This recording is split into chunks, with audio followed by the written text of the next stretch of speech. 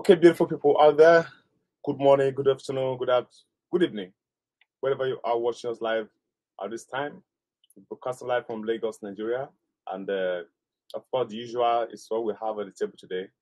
Uh, as regard the happening in the country, I will be giving you just from various um, news, uh, online news outlets, uh, starting from Vanguard, Punch, uh, of course, Channels, and some of that uh, news uh, uh, platform out there. Of course, it's no longer news that uh, the coup that happened in Nigeria is still ongoing, and uh, of course, the US are um, evacuating their uh, non-emergency staff, and of course, the, the ECOWAS additional sanctions in this um, environment, and uh, of course, we saw even the meeting that was held in Abuja, Burkina Faso, Nigeria, and other country they couldn't they couldn't join because of uh, the, what is happening in the country right now. And of course, in Nigeria, we saw yesterday that uh, uh, actually insist on the uh, uh, protest, and uh, they carried out protests all over across the states, and it was it was massive. Though the, the in Lagos, transport worker didn't join because the chairman, in place of MC Oluomo, has advised not to join the protest because of that uh, the Lagos state government has uh, put in place uh, a, a palliative measure to cushion the effects of transportations and all that. That um, that that the- a percentage the ticket normally by the uh, various parks that they have given discounts some by 50% by 25% so as a result that the children embark on the strike but the question on that uh, as regard that order is uh, who if the BRT has been uh, the ticket price has reduced fine but the yellow buses the commercial buses with the reduction of that ticket how will it help them? Because they're still buying fuel at the current price. So that's the question in the mouth of everybody. So is this going to help? A call was put across days and all that just to be sure if this has reflected in any way. Not the possibility complain that the price of uh, of vehicle uh, price uh, price from transporting from one region to another still remain the same. So we don't know how that's going to help because if at all that is done, uh, it means that's on that way of subsidizing fuel by state government. So we don't know. The, um, the NSC they have come out and said, okay, fine, they have um, uh, met with the government and uh, and the plans what they have demanded for that that's in place. So these are all in the news. Uh, so we'll kickstart with the various headlines so you can see what we have today. Of course, we are watching Prime Media Studio, and uh, to start with, to start with, we have the story from the Vanguard News uh, platform. Uh, coup, Nigeria cut power supply to the Niger Republic.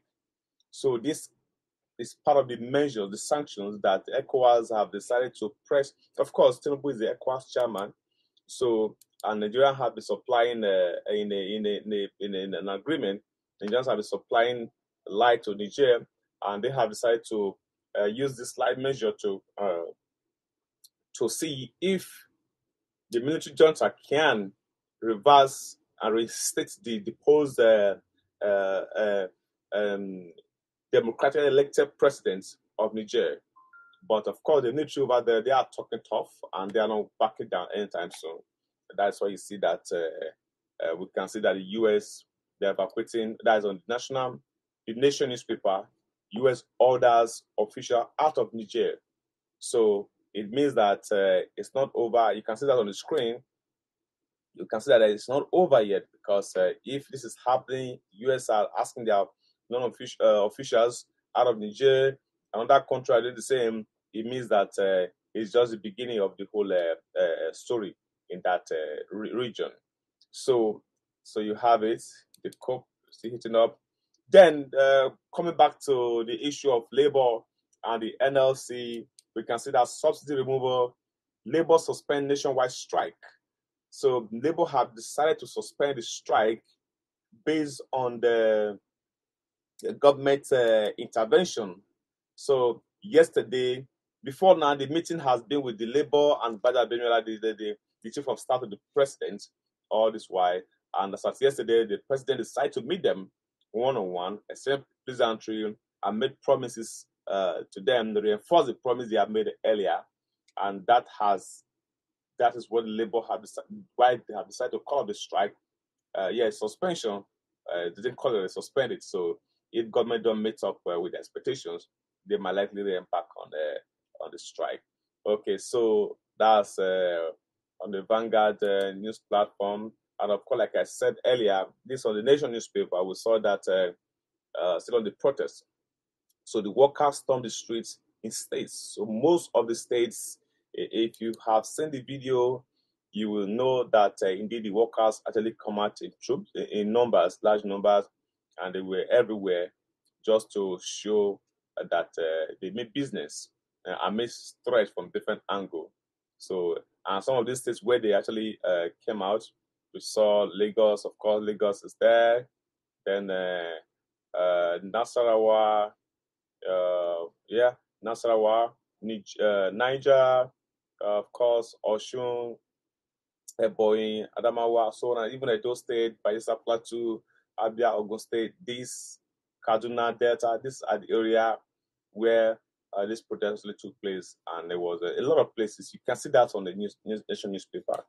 Uh, most of the states where uh, the where the the, the protest took uh, took place. So uh, so it, according to Labour, it was a good acting, and they have achieved uh, their aim um, based on the promises they've received from the from from the government. Okay, so moving on now to the Channels news platform online broadcast that DSS not an island. EFCC can't continue to disobey court orders. This uh, Mr. Fagbemi is speaking here, uh, one of a ministerial nominee from Kwara State, uh, Lateef uh, Fagbemi.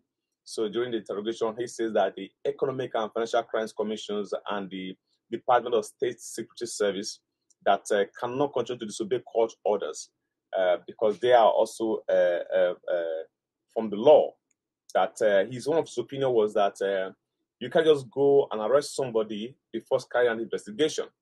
You ought to have investigated, be sure of the crime first before you going ahead to arrest such person. So these are one of his his response when he was being interrogated for his ministerial position at the National Assembly. So of course, when he was coming uh, we read from the news that uh, a lot of uh, senior advocates were with him to that uh, event. So there we have it. Of course, uh, indeed, uh, you have to be sure of someone's crime before going to arrest the person. You can just go there and arrest somebody and start, start carrying the investigation, and that person will not be in detention lawfully. So this is what he's part of the thing he talked about at that screening screening exercise. Okay, you can see the full gist of that story uh, from the uh, uh, Channels news uh, online platform. Uh, still moving on. Uh, I think most of the story that dominated the, the, the news as of yesterday and today has been the protests. All workers will appear in court for federal government's contempt suit. So why, let's say, why why this was the, the this protest was um, planned uh, to commence, start about to commence by the NLC, uh, federal governments, of course, went to court to file a, uh, case of contempt against uh, Labour. And now we can see Labour saying that, okay, that's no problem. We are going to go to court, but every organs of the NLC and Nigerians will be at the court premises on that day. That uh, even the airport and the seaport and uh, all the uh, uh, bodies we be are the uh, court uh, for the uh, case of uh, contempt. So there, there we have it. That's what the NLC have said. So they are going to answer it, but according to them, they are going in, a mass. So, so that story is on the local um, Channels news platform also. So, yeah, of course, I think I mentioned this uh, earlier during the introduction. Um, you can see this on the Punch News online. Uh, Niger, Nigeria cuts power supply. ECOWAS vow to confront junta. So, of course, Nigeria have cut the power supply to Niger because Nigeria actually depends on the, about 40% of Nigerian, uh, out of the 100%, they get 60% of electricity from Nigeria. And that has been uh, one of the measures that the, the, the ECOWAS has pressurized the chairman of the body, which is Nigeria, to do to cut off power supply. All this is just to pressure uh, the military junta to be able to uh, reinstate the uh, the ousted uh, uh, president. So, and of course, this in also we saw earlier that uh, Niger have also stopped the exporting of um, their material to France. So that's it's, it's heating up, and we don't know where the pendulum is going to swing. And of course, it's uh, it's not uh, easy over there. And of course, uh, let's just move on to the next story. You can see that story on Punch News online. So we're looking at the second story that talked about uh, how Obi found missing phones at Tribunal. So uh, before now, uh, the story was was trending all over yesterday that uh, Obi's phone was stolen at the uh, court premises, and then today we're hearing that it wasn't actually stolen. It was um, one of the aides that picked up the phone because a lot of people were. Uh, it was a exchanging pleasantry with a lot of people there, and uh, the phone was on the table, so he had to just take the phone away from the table to avoid uh, the phone maybe stolen or missing. So he went to eat himself at the restroom. So while Peter was, uh, Mr. Peter was uh, looking for the phone on the deck. So uh, eventually he came back and, and the phone was uh, restored but so it wasn't stolen. So that's the news. that you can get check details of that story uh, from the Punch News online. Then, of course, uh, look at the next story uh, that talked about uh, troops rescue four kidnapped victims, destroy bandit dens in Kaduna. Of course, you know Kaduna is a hotbed for this um, uh, bandit and other criminal elements. And now we can see that uh, the troops, the report coming in that they were able to rescue some of the victims that were that was kidnapped then, and they, and they, by there was an exchange of fire. Uh, they got the information and they got there, the military got there and they exchanged some fires and were able to rescue this uh, uh, kidnapped uh, victim from that uh, environment. So it's a it's a good news in that regard.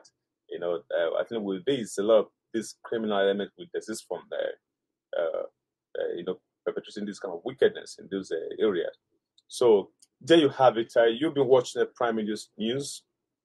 and um, yeah, just tidbits, just for you to have an idea what's going on in the country and so on. So we're gonna call it a day here at this time. Of course, we'll be coming your way with other fantastic stories, and of course, our DJs, uh, of course, they're in the top gear to give you beautiful songs to dance to, and of course, uh, comedian Shakiz always uh, uh, here uh, giving you, you know, cracking up your ribs because uh, if you look, if you read story, if you look at what's happening in the whole world and you don't laugh, you might not, you'll be having troubles. Okay, so we have comedians coming here to come and give you, uh, get you uh, laughing and so on and so forth. So it's been Prosper Michael from Prime Media Studio, of course, with my able cameraman that double as a producer, also uh, James giving you the best we can here, and of course, more are coming. Yeah, subscribe to this channel so that uh, when we are up with this beautiful con- uh, uh contents from various uh, aspects of life, you'll be able to enjoy it. Of course, uh, also um, some inspiration program will also be coming here. Just be ready, sit up, put your seat belts, and join us as we, as we start the ride very soon. So, okay, for now, let's call it a day from Prime Media Studio, Lagos, uh, Nigeria. You have a beautiful day ahead.